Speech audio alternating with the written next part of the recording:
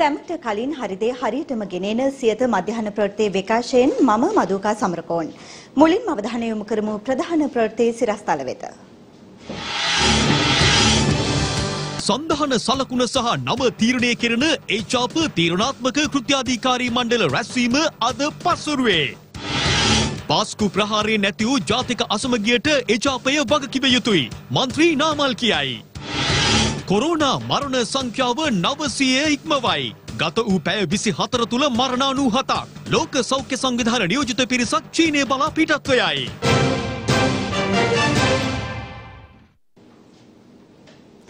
ලොව අති උත්කර්ෂවත් සිනමා සම්මාන උළෙල.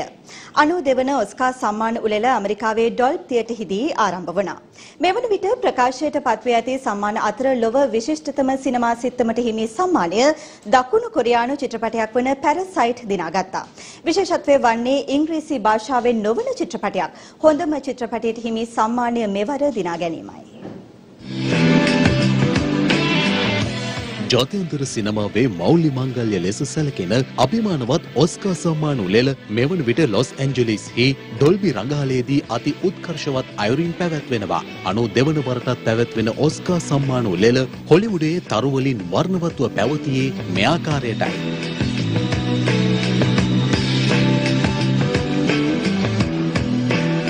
මෙවර ඔස්කා සම්මාන උළෙලේදී නිර්දේශිත නාම පහක් අතුරින් හොඳම නළුවාට හිමි සම්මානය හිමිකර ගැනීමට ජෝකර් චිත්‍රපටයේ ප්‍රධාන නළුවා ලෙස රංගනයෙන් දායක වූ ජැක්වින් පේනික්ස් සමත් වුණා.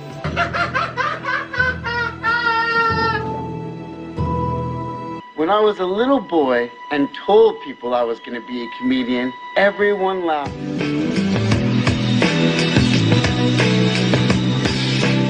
එමෙන්ම මෙවර හොඳම නිලිය සම්මානය ජූටි චිත්‍රපටයේ ප්‍රධාන නිලිය ලෙස රංගනයෙන් දායක වූ රේනි සෙල්වග විසින් හිමි කරගත්තා.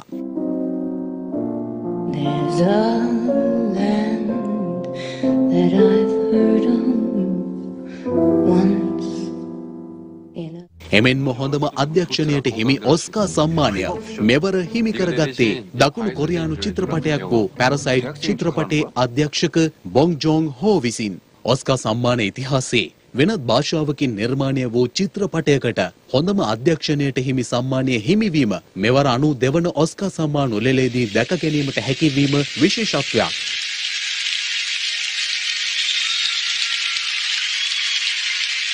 මේ අතර හොඳම සංගීත රචනය වෙනුවෙන් සම්මානය දෙනා ගැනීමට ජෝකර් චිත්‍රපටය සමත් වූ අතර වසරේ හොඳම ගීතය වෙනුවෙන් සම්මානය හිමි කරගත්තේ රොකට් මෑන් චිත්‍රපටයේ Love Me Again ගීතයයි. එක්සත් ජාතික පක්ෂ විශේෂ කෘත්‍යාධිකාරී මණ්ඩල රැස්වීමක් අද පස්වරුවේ සිරිකොත පක්ෂ මූලස්ථානයේදී පැවැත්වීමට නියමිතයි. එහිදී එක්සත් ජාතික පෙරමුණු නව සඳහනයේ නම සහ ලකුණ සම්බන්ධයෙන් අවසන් එකඟතාවයකට පැමිණීමට නියමිත බවයි පක්ෂ අභ්‍යන්තර ආරංචි මාර්ග සඳහන් කළේ. එක්සත් ජාතික පක්ෂ විශේෂ කෘත්‍යාධිකාරී මණ්ඩල රැස්වීමක් අද පස්වරුවේ සිරිකොත පක්ෂ මූලස්ථානයේදී පැවැත්වීමට නියමිතයි. එහිදී එක්සත් ජාතික පක්ෂයේ ප්‍රමුඛ නව සන්ධානයේ නම සහ ලකුණ ඇතුළු අනෙකුත් කරුණු සම්බන්ධයෙන් අවසන් තීරණයක් ගැනීමට නියමිත බවයි වාර්තා වන්නේ. එමෙන්ම නව සන්ධානයේ මහලේකම් තනතුර සඳහා පාර්ලිමේන්තු මන්ත්‍රී රංජිත් මද්දුම බණ්ඩාර මහතා නම් කිරීමට පසුගියදා පාර්ලිමේන්තුවේ පැවති එක්සත් ජාතික පක්ෂ පාර්ලිමේන්තු කණ්ඩායම් රැස්වීමේදී යෝජනාවක් සම්මත කරගත් අතර ඊට අද පැවැත්වෙන කෘත්‍යාධිකාරී මණ්ඩල රැස්වීමේදී අනුමැතිය ලබා ගැනීමට නියමිත බවද වාර්තා වනවා. කෘත්‍යාධිකාරී මණ්ඩල සමාජිකත්වයෙන් මන්ත්‍රීවරුන් හතර දෙනෙකු ඉවත් කිරීම හේතු කොටගෙන පසුගිය 30 වනදා පැවති එක්සත් ජාතික පක්ෂ කෘත්‍යාධිකාරී මණ්ඩල රැස්වීම මන්ත්‍රීවරුන් 14 දෙනෙකු වර්ජනය කරනු ලැබුවා. මේ අතර පාර්ලිමේන්තු මන්ත්‍රී ලක්ෂ්මන් කිරියල්ල මහතා මහනුවරදී ඊයේ මාධ්‍ය වෙත අදහස් දක්වමින් කියා සිටියේ නව සන්ධානයේ මූලිකත්වය එක්සත් ජාතික පක්ෂයට හිමිවන බවයි. සන්ධානය හදන එක අපි කෘත්‍යාධාරී මණ්ඩලයෙන් අනුමත කරලා තියෙනවා. සන්ධානය ගන්න හැම තීරණයක්ම එක්සත් ජාතික පක්ෂයේ කෘත්‍යාධාරී මණ්ඩලයට යට. ඒක තේරුම් ගන්න ඕන ඔක්කොම ඉස්සෙල්ලා. එක්සත් ජාතික පක්ෂයට වඩා සන්ධානය ලොකු නෑ. එක්සත් ජාතික පක්ෂය තමයි ප්‍රධාන බලවේගය. ඒතකොට කෘත්‍යාධාරී මණ්ඩලයෙන් හැම තීරණයක්ම අනුමත කරන්න ඕන. අනිත් එක සීමෙන් පස්සේ අපි තීරණ ප්‍රශ්න ඔක්කොම අවසන් කළා. අපි සමගිව මැතිවරණයට මුහුණ දෙනවා. පක්ෂය ඇතුලේ තාමත් පොඩි ප්‍රශ්නයක් තියෙනවා. පක්ෂයේ නායකත්වය ගැන ප්‍රශ්නයක් තියෙනවා. ඉදිරි මැතිවරණයට යෑමේදී කොහොමද පක්ෂය යන්නේ කියන එක ගැන තාම ප්‍රශ්නයක් තියෙනවා. එක්සත් ජාතික පාක්ෂිකයන්ට වෙච්ච අසාධාරණ ගැන අපි දන්නවා. පක්ෂයේ ප්‍රබලයින්ට තමුන්නාංශලා අමතක වෙලා තියෙනවා. ඒකාන්ත තමයි පක්ෂය අද මෙතනට වැටලා තියෙන්නේ. ඒවා කතා කරලා තමයි මට දැනටම කෘත්‍යාධිකාරී මණ්ඩලයෙන් මම දොට්ට දැම්මා. මේ අතර ඊයේ මහරගම ප්‍රදේශයේ පැවති රැස්වීමකදී එක්සත් ජාතික පෙරමුණු නව සංධානීය ගොඩනැගීම පිළිබඳව මෙලෙස අදහස් පළ වුණා.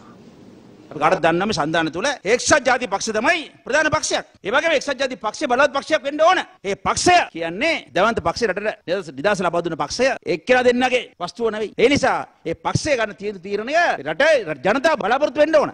අපි එක්සත් ජාතික පක්ෂයේ ප්‍රධාන පෙළේ නායකයෙක් වෙන අපි කවුරු ගරු කරන අපේ රංජිත් වදු බණ්ඩාර මැතිතුමාගේ නම සන්ධාන මාලේකම් ධූරයට යෝජනා කරා. කිසිම ගැටලුවක් නැතුව ඒතුමාගේ නම ඉල්ලීම පරිදි යෝජනා කරපු ඒ නමත් සමත වුණා නම් ඊට පස්සේ බ්‍රේක් නෑ අපිට. දේශපාලකයගේ දේශපාලන පක්ෂවලයි ප්‍රධාන අරමුණ තමයි බලය ලබාගෙන. බලය ලබාගන්න බැරිනම් පක්ෂ නම ලස්සනයි කියලා ගණ ලක්ෂණයි කියලා ඉතිහාසය ලස්සනයි කියලා. පක්ෂේ ලකුණ ලස්සනයි කියලා ඒ ලකුණ ඉතිහාසෙ තිබුණයි කියලා. පක්ෂේ නායකයෝ ගරුගාම්භීර වුණයි කියලා. හිටපු අය එහෙමයි කියලා වැඩක් තියනවද බලය නැත්තම්. දේශපාලකයාගේ දේශපාලන පක්ෂවලයි මූලික අරමුණ තමයි බලය ලබා ගැනීම. බලය ලබා ගන්න බැරි නම් නම් ඝන පිහිටවල තිබුණට ඒ වගේම ලස්සන ලකුණු තිබුණට ඒ එකකින්වත් වැඩක් නැහැ. ඒක නිසා අපි බලන්න ඕනේ එක්සත් ජාතික පක්ෂයේ ප්‍රතිසංස්කරණයක් කරනවාද? ඒවා නැත්තම් වෙන්නේ මොකක්ද එකම විකල්පය අර චන්ද්‍රිකා නෝනා කළා වගේ අපි පුළුල් සන්ධානයක් පුළුල් බලවේගයක් මගින් මේ රටේ එකතු කරගන්න පුළුවන් සෑම කෙනාම එකතු කරගෙන ඉදිරියට යන එක විතරයි අද අපිට ඉතුරුලා තියෙන දේ විතරෝන්.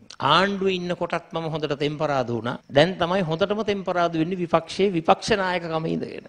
අමුතුම ක්‍රමවේදයන් ක්‍රියාත්මක වෙන්නේ. ඉතින් බොහොම අමාරුවෙන් එකමුතු භාවයක් රැකගෙන කවුරුත් කොන් කරන්නේ වෙන් කරන්නේ නැතුව දිනන ගමනක් නිර්මාණය කරනවා කියන එක අමාරු දෙයක් නෙවෙයි. කකුලෙන් අදින එක තමයි ප්‍රශ්නේ. මේ අලුත් වැඩපිළිවෙල තුළ සියලුම පක්ෂයකට එකතු වෙන්නට ඕන. සියලුම පක්ෂ මේ සන්ධානයේ කොටස්කරුවන් බවට පත් වෙන්නට ඕන. මටත් ඒ වගකීම බාර දුන්නානේ. හිමින් හරි හිතලා බලලා හරි කලබලයට හරි මට දෙන්න තියෙන ඔක්කොම දුන්නානේ. විපක්ෂ නායකකම දුන්නා, සන්ධානයේ නායකයා කිව්වා. සන්ධානයේ ලේකම් පත් කරන්න පුළුවන් කිව්වා රාම යෝජනා මණ්ඩලයේ සභාපති කිව්වා දැන් ඔක්කොම කරගන්නයි කිව්වා දැන් ඉතින් මං කරලා ඉවරයි මොනව කරන්නද දැන් ඉතින් හැමෝටම සිද්ධ වෙනවා එකට එක්ක හොලා යන්න. මේ මම මේ කරන්න එපයි කිව්ව දේවල් නෙවෙයි කරේ. කරන්නයි කිව්ව දේවල්. හැබැයි කරගෙන යනකොට කකුලෙන් අදිනවයි කියන්නේ අදින්නේ මේ 56 ලක්ෂයකට ආසන්නව ඡන්දේ දුන්නු ජනතාවගේ කකුලෙන් අදින. අපි අහන්න ඕන ප්‍රශ්නයක්. අපේ මේ එක්සත් ජාතික පෙරමුණේ සිටින මේ മന്ത്രിතුමන්ලා 100 ගානට අපි අසාධාරණේ කරනවා. මම නම් කියනවා මට කරපු අසාධාරණේ ඒ ඇත්තොන්ට කරන්න එපයි කියලා.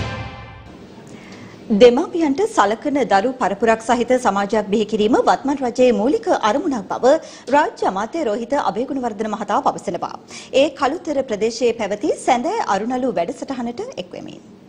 මේ රටේ දිහා බැලුවොත් දැන් අද අපේ ගෝඨාභය රාජපක්ෂ අපේ ජනාධිපතිතුමා අපේ අගමැතිතුමා මහින්ද රාජපක්ෂ. ඒතර අපි රජයක් හැටියට කොපමණ වැඩ කළත් මොකටද දෙමව්පියන්ට සලකන සමාජයක් නැත්තම්? අපි පාරවල් හැදුවා. අපි සියලු දේවල් සම්පත් සංවර්ධනය කරා වැඩක් වෙන්නේ නැහැ. අපි මිනිස්සුන්ගේ මනස දරුවන්ගේ හදන්න වෙනවා. හැබැයි එහෙම සමාජයක් හැදුනොත් ওই හිරගවල් ප්‍රමාණය අඩු වෙයි. අම්මට තාත්තට සලකන දරුවා සමාජයට විසමාචාර දරුවෙක් වෙන්නේ. ඔහු අම්මට තාත්තට සලකනවා වගේම සමාජයට ආදරය කරන දරුවෙක්. අපි රජයක් හැටියටත් උත්සාහ කරන්නේ එවැනි දෙයක් කරන්න. මේ සැඳෑ සමයේ ගත කරන මේ අම්මලට තාත්තලට ඊටාම හොඳ මනරම් පරිසරයක මේ වගේ හොඳ උත්සව ශාලාවක් හොඳ පිහිනුම් තටාකයක් ඒ ඇයට ඇවිල්ලා දවස් විනෝද වෙන්න පුළුවන් ස්ථානයක් මමත් මගේ දේශපාලන අධිකාරියත් එකතු වෙලා ඊළඟ අවුරුදු 5 ඇතුළත අපි හදනවයි කියන වත්මන් රජය ඊටම අසාර්ථක රජයක් බවට පත්ව ඇති බව පාර්ලිමේන්තු මන්ත්‍රී චන්ද්‍රානී බණ්ඩාර මහත්මිය පවසනවා. ඒ අනුරාධපුර ප්‍රදේශයේ පැවති මාධ්‍ය හමුවකට එක්වෙමින්. මේ MCC ගිවිසුම මේ රටට හානි කරයි. මේ රටේ තියෙන ඉඩම් ටික විදේශ රටවල් වලට යනවා. මේකේ කිසිම අයිතියක් මේ රටේ පුරවාසියන්ට නැතුව යනවා. අපේ රටේ මිනිසුන්ට ඉඩම් නැතුව යනවා කියලා ලොකු බිල්ලෙක් මවලා පෙන්නලා අපේ රටේ ජනතාවගේ ඔලු අවුල් කරා මේ MCC ගිවිසුම. මේක වහාම අවලංගු කරන්න ඕනි. අපේ ආණ්ඩුවත් තුල කිසිසේත්ම මේ MCC ගිවිසුම රස්සම් කරන්න අපි ඉඩක් තියන්නේ නැහැ කියන එක තමයි දිගින් දිගටම අරගෙන නමුත් අද මේ ආණ්ඩුව පත් වුණ විගසම ඒ කතාව වෙනස් වෙලා දැන් ඒකේ 170ක් හොඳ වෙලා තියෙනවා. ඒ 170 130ක් තමයිලු නරක් වෙලා තියෙන්නේ. ඒ නරක් වෙච්ච ටික ගැන සාකච්ඡා කරලා මේවා ජනතාවට අර- අතට අරගෙන ගිහිල්ලා ඒකේ හොඳ නරක හොයලා බලලා ජනතාවගේ අනුමැතියත් පාර්ලිමේන්තුවේ අනුමැතියත් ඇතිව මේක අස්සම් කරනවා කියලා තමයි දැන් කතාව යන්නේ. ඉතින් මේක ඊටාම අසාර්ථක නොහැකියාවක් තියෙන රජයක් හැටියට අ, මේ රජය පත් වෙලා තියෙනවා කියලා පැහැදිලිව අපිට පේන්න. ඔය ඉදිරි පාර්ලිමේන්තු මැතිවරණය නැවත මේ ජනතාව රවට්ටලා මේ ඡන්දය අරගැනීමේ වැඩපිළිවෙලක් තමයි මේ ඉදිරියට අරගෙන යන්නේ කියන එක අපිට පැහැදිලිව පේනවා. පාස්කු ප්‍රහාරයත් සමග ජාතීන් අතර ඇති වූ අසමගියට එක්සත් ජාතික පක්ෂ ආණ්ඩුව සම්පූර්ණයෙන් වග කිව යුතු බව පාර්ලිමේන්තු මන්ත්‍රී නමල් රාජපක්ෂ මහතා පවසනවා. ඒ වෙන්නප්පුව ප්‍රදේශයේ පැවති ආසන බලමණ්ඩල රැස්වීමට එක්වෙමින්. අපි දන්නවා අවුරුදු හතරමාරක් ඔබ තමුන්නාසලා කැපවීම කරා. යහපාලන ආණ්ඩුවෙන් පලිගත්තේ අපෙන් විතරක් නෙවෙයි. දේශපාලනික වශයෙන් අපව හිරේ දානවා වගේම මිලිටරි මහජනතාවගෙන් පලිගත්. එක පැත්තකින් අසාධාරණ සහ අසීමිත බදු ප්‍රතිපත්තියක් ආණ්ඩුව අනුගමනය කළා. එදා හිටපු ආණ්ඩුව ඔබ තමුන්නාසලාගෙන් පලිගත්. අවසානයේ රටේ ජාතික ආරක්ෂාව, ජාතික ආර්ථිකය යන දෙකම බිඳ වැටුණා. දේව මෙහෙට යන්න බැරි තත්ත්වයක් ඇති කරා. පාස්කුරුද ප්‍රහාරයත් එක්ක මෙරටේ ජාතීන් අතර අසමගිය ඇති වුණා. අවිශ්වාසය ගොඩනැගුණා. ඒ අවිශ්වාසය ගොඩනැගීමට වග කියන්න ඕන එක්සත් ජාතික පක්ෂ ආණ්ඩුව. හැබැයි එක්සත් ජාතික පක්ෂය එදා අපිට හොරා හොරා කිය කිය ඉඳලා අද ඔබට ඇස් මනා අපිට තියෙනවා එදා එක්සත් ජාතික පක්ෂ කෙරුවා. එක්සත් ජාතික පක්ෂයේ පවතින අර්බුදය විසඳා ගැනීමට සියලු දෙනා එක්ව කටයුතු කළ යුතු බව පාර්ලිමේන්තු මන්ත්‍රී රවී කරුණානායක මහතා පවසනවා. කොළඹදී මාධ්‍ය වෙත අදහස් දක්වමින් මන්ත්‍රීවරයා මේ බව ප්‍රකාශ කළා. අප එකට මේ පක්ෂ ප්‍රශ්න විසඳන්න කටයුතු කරගෙන යනවා. ඉතින් කරුණාකර ඔබතුමාලා එන සුමාන වෙනකොට බලන්න අපි ශක්තිමත්ව එකට ඉදිරියට ගමන් කරන්න අපි කටයුතු කරගෙන යනවා. අපේ පසුපෙළ ඉදිරිපෙළ නායකයෝ ඔක්කොම එකට ඉන්නවා. එක්කෙනෙක් දෙන්නෙක් තුන් දෙනෙක් වෙනින් ප්‍රකාශ කරනවා. මම ඒගොල්ලන්ගෙත් කියන්නේ කරුණාකර අපි ඔක්කොම අත්වල බැඳගෙන එකට ගමන් කරමු. ඒ නිසා ජනතාව වෙනුවෙන් අපි අලි රැලක් වශයෙන් පෙළ ගැස්සගෙන ඉදිරියට ගමන් කරමු. දැන් මම හිතන විදිහට මම හිතන්නේ අප්‍රේල් 25 වෙනකොට ඡන්දයක් ඒවි. ඒක තුල සියලු දෙනාම ඒකරාශී වෙලා රටක් ගැන හිතන්න තියෙන අවස්ථාවක් ඇතිලා තියෙනවා. එක්සත් ජාතික පක්ෂය වත්මන් රජය සමග එක්ව වැඩ කිරීමට කැමැත්තෙන් පසුවන බව ජනතා විමුක්ති පෙරමුණේ ප්‍රධාන ලේකම් ටිල්වින් සිල්වා මහතා පවසනවා. ඒ මහතා මේ බව සඳහන් කළේ බදුල්ල ප්‍රදේශයේ පැවති ජනහමුවකට එක්වෙමින්.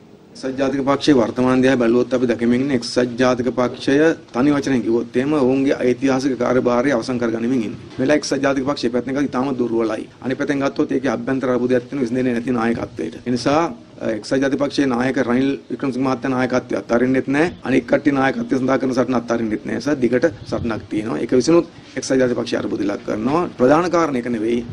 අද එක්සත් ජාතික පක්ෂය මේ රටේ කරපු නව ලිබරල්වාදී වැඩපිළිවෙලම තමයි ගෝඨාභය රාජපක්ෂ මහත්තයා ප්‍රමුඛ ආණ්ඩුව කරගෙන යන්නේ. ඒ නිසා එකම වැඩපිළිවෙලක් ක්‍රියාවට නගන්න එකම ආර්ථික වැඩපිළිවෙලක් ක්‍රියාවට නගන්න පක්ෂ දෙකක් වුණ වෙන්නේ නැහැ. එක්සත් ජාතික පක්ෂයේ පෙන්නුමුන් ඉන්නේ සමාන්තරව ගෝඨාභයලත් එකට වැඩ කරන සූදානමක් පෙන්නුම ඉන්න නිසා අපි හිතන්නේ එක්සත් ජාතික පක්ෂයට මේ ආණ්ඩුව විකල්ප වෙන්න පුළුවන් කමක් නැහැ. ඒක දුබල වෙමින් යන්නේ. අපි හිතන ඉදිරියේදී මේ ආණ්ඩුවේ ජනතා විරෝධී ක්‍රියාවන්ට එරෙහිව විකල්ප දේශපාලන ධාර වර්ධනය වෙන්න ඕන. ඒ ඒක වර්ධනය කිරීමේදී ඒ සඳහා හොඳම හැකියාව තියෙන්නේ ජාතික ජනබලවේගයට කියලා අපි විශ්වාස කරනවා. වත්මන් රජය බලයට පත්වන විටත් රටේ ආර්ථිකය කඩා වැටීමට ලක්ව තිබූ බව අමාත්‍ය එස්.එම්. චන්ද්‍රසේන මහතා පවසනවා. ඒ අනුරාධපුර ප්‍රදේශයේදී මාධ්‍ය වෙත අදහස් දක්වමින්. අපේ ආණ්ඩුව එනකම්ම ජනාධිපතිවරයා පත් කරා ගන්න කම්ම ආර්ථික කඩා වෙලා තිබුණේ. ආර්ථික වේගය දෙකයි දශම ගානට බහින තත්ත්වෙටම පත් කරා. පත් කරේ ඔය වැරදි ආර්ථික ක්‍රියාවලිය හින්දා. ඒගොල්ලෝ රටේ නිෂ්පාදනය වැඩි කරන්න, කෘෂිකර්මයෙන් වැඩි කරන්න, දීවර කටයුතු වලින් නිෂ්පාදනය වැඩි කරන්න. එහෙම නැතුව අපේ රටේ විදේශ විනිමය ලබා ගන්න සංචාරක ව්‍යාපාරේ දියුණු කරලා මේ රට සංවර්ධනය කරන්න උත්සාහ කරේ නැහැ. ඒගොල්ලෝ කරේ අපි හදාපු වරායවල් ටික විකුණන්න, ගුවන්තොට පොළවල් ටික විකුණන්න, අපේ දේපොළ විකුණලා තමන්ගේ නිල නිවාස රෙපයාර් කරලා ඒ වගේම තමන්ගේ පඩිනඩි ටික වැඩි කරාගෙන බෝලපාලයන් හොඳට හම්බ කරාගන්න ඉඩ දීලා ඒ වගේ අපේ රටයි රටේ වගා කරන්න පුළුවන් දේවල් පිට රටින් ගෙනල්ලා ඒ වගේම කොමිස් ගහලා ඉතින් මේ වගේ විශාල හානියක් කරේ. ඒගොල්ලෝ ආර්ථිකය ගැන බැලුවේ නැහැ තමන්ගේ සුඛ විහරණය ගැන විතරයි සජ්ජාතික පක්ෂේ ආණ්ඩුවේ මැති ඇමතිවරු බැලුවේ කරේ කියන එක තාම පැහැදිලි. ලංකා ඉතිහාසයේ වැඩිම විවේචන එල්ල වූයේ වත්මන් ආණ්ඩුවට බව ඌව පළාත් සභා හිටපු මන්ත්‍රී සමන්ත විද්‍යාරත්න මහතා පවසනවා. බදුල්ල ප්‍රදේශයේ පැවති ජන හමුවකට එක්වෙමින් ඒ මහතා මේ බව ප්‍රකාශ කළා. මේ රටේ ජනතාවට වක්කීමක් තියෙනවා.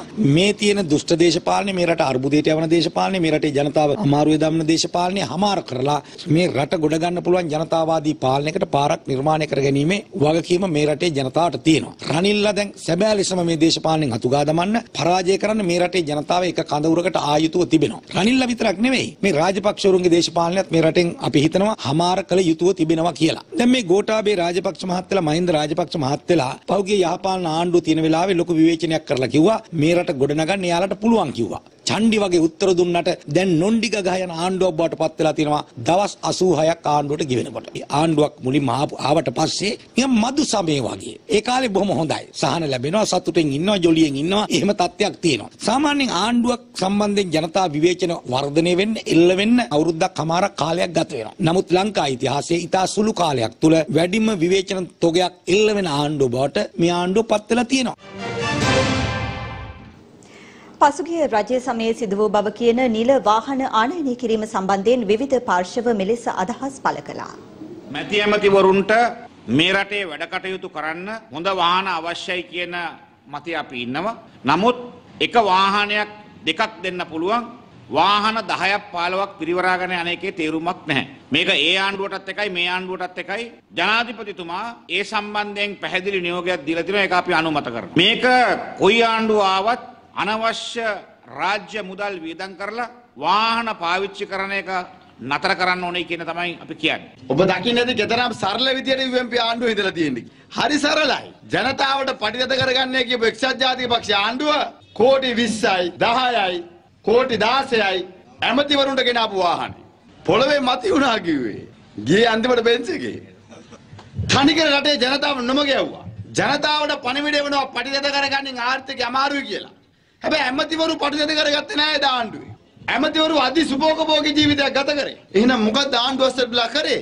දැන් තමයි අපිටත් තේරෙන්නේ කෝටි ප්‍රකෝටි ගණන් වල වාහන දෙනකොට ආණ්ඩුව දාලා එන්න හිතෙන්නේ නැතුව ඇති. පරිදිලා විපක්ෂයට ගියාම තමයි මතක් වුණේ අපි සැප වින්දට අපි සුභෝගභෝගී වාහන ගත්තට රටේ ජනතාවට වැඩක් කරගන්න බැරි වුණා කියලා. දෙදස් පහළවයි දෙදස් විස්සයි අතර අපි ගෙනාපු වා- වාහනවල ගණන් ගත්තාම කෝටි හතලි සතයි දසම හතරක් වියදං වෙලා තියෙන්නේ අපේ වාහන. දෙදස් පහළවේ අතර ද- මහින්ද රාජපක්ෂගේ ඒ රජය තිබිච්ච කාලෙදී ගෙනල්ලා තියෙන වාහනවල මිල බලපුහාම කෝටි තුන්සිය පනස් සතක්. එතකොට මේ අය කතා කරන්නේ අ, මොනවා ගැනද කියන එක අද විහිළුවක් බවට පත් වෙලා තියෙනවා. ඉතින් ඒ නිසා මේ දේවල් කරලා ඒ අය මේ දේවල් නොකරපු විදිහට තාම සත්භාවයෙන් කිසිම වැරද්දක් නොකරපු ආකාරයට මේ වාර්තා ගෙනල්ලා ඉදිරිපත් කිරීම තුළ ආපස්සට ඒ අයට එක ඇඟිල්ලක් අපිට දික් කරනකොට ඇඟිලි හතරක් ඒ පැත්තට දික් වෙලා තියෙනවා කියන එක අමතක කරන්න එපා.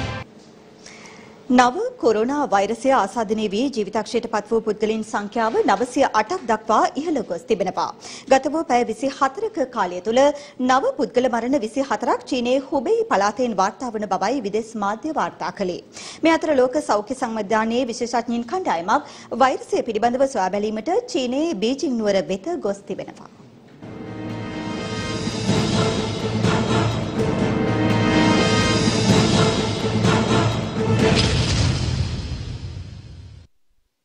ලොව පුරා මාරාන්තික ලෙස පැතිර යමින් පවතින කොරෝනා වෛරසය හේතුවෙන් සිදු වූ පුද්ගල මරණ සංඛ්‍යාව මේ වන විට 908 දක්වා ඉහළ ගොස් තිබෙනවා. ඊයේ දින පමණක් පුද්ගල මරණ 97ක් චීනයේ හුබේ පළාතෙන් වාර්තා වන්නේ වෛරසයේ මාරාන්තික තත්ත්වය ලෝකයට හෙළි කරමින්. ලෝකයේ රටවල් 28ක් කේන්ද්‍ර කරගනිමින් පැතිර යමින් පවතින නව කොරෝනා වෛරසය පුද්ගලින් 40172 දෙනෙකුට ආසාදනය වී ඇති බවයි විදේශ මාධ්‍ය වාර්තා කරන්නේ. එසේම චීනයේ පමණක් පුද්ගලින් 187518 දෙනෙකු වෛද්‍ය පරීක්ෂණයන්ට ලක් වී ඇත්තේද? වෛරසය ආසාදනය වූ බවට සැක පළ කරමින්.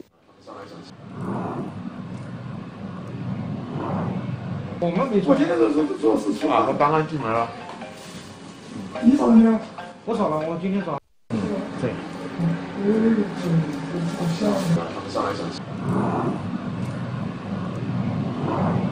我刚刚进门了。你扫的没有？我扫了，我今天扫。嗯，对。我们没做，现在都是做事出来。我刚刚进门了。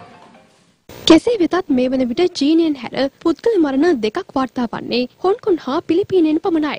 මේ අතර ලෝක සෞඛ්‍ය සංවිධානයේ විශේෂඥයින් කණ්ඩායමක්ද චීනයේ බීජිං නුවර වෙත පිටත් කර යවා තිබෙනවා. ඒ වෛරසය පිළිබඳව සොයා බැලීම සඳහායි. දැනට නිකුත් වී ඇති දත්ත වාර්තා අනුව රෝගීන් 3281 දෙනෙකු ප්‍රතිකාර ලබා රෝහල් වලින් පිටව ගොස් ඇති බවයි චීන මාධ්‍ය වාර්තා කරන්නේ.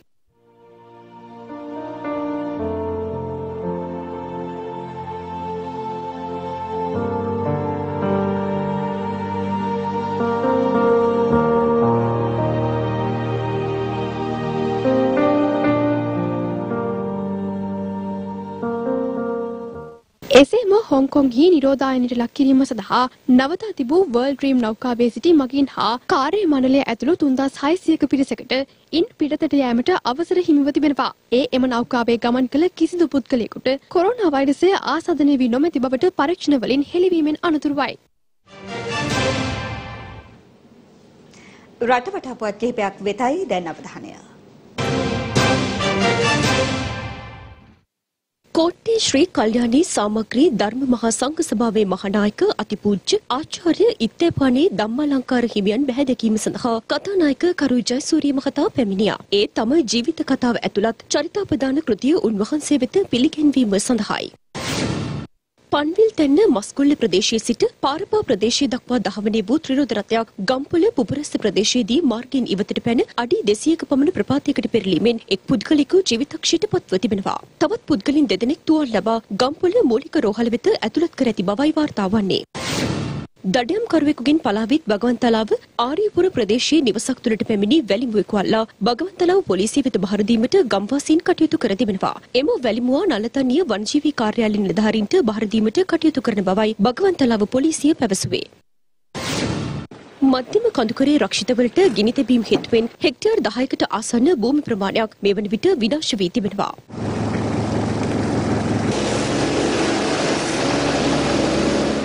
රක්ෂිතවලට සහ වනවගාවන්ට ගිනි තැබීම් හේතුවෙන් විශාල පරිසර හානියක් සිදුවන බවත් එම රක්ෂිත හරහා පහළට ගලා බසින ජල මූලාශ්‍ර සිඳියාමේ අවධානමකට ලක්ව ඇති බවත් හැටන් අඩවි වන නිලධාරීන් පවසනවා. මෙලෙස රක්ෂිතවලට ගිනි තබන පුද්ගලින් පිළිබඳව තොරතුරු වෙතොත් ඒ පිළිබඳව අඩවි වන කාර්යාලය වෙත හෝ ප්‍රදේශීය පොලිස් ස්ථාන වෙත තොරතුරු ලබා දෙන ලෙසයි හැටන් අඩවි වන නිලධාරීවරයා වැඩිදුරටත් සඳහන් කර සිටියේ.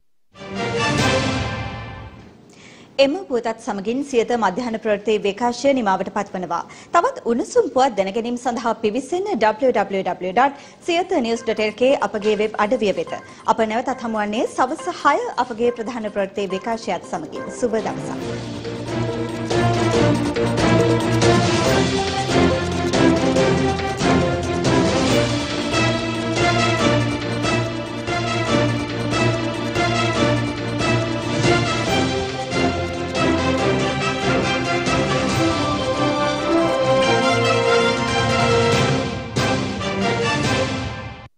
දිනපතා අලුත් වීඩියෝ සහ ප්‍රවෘත්ති නැරඹීමට ඉහත බටන එක ක්ලික් කර සියත TV සබස්ක්‍රයිබ් කරන්න.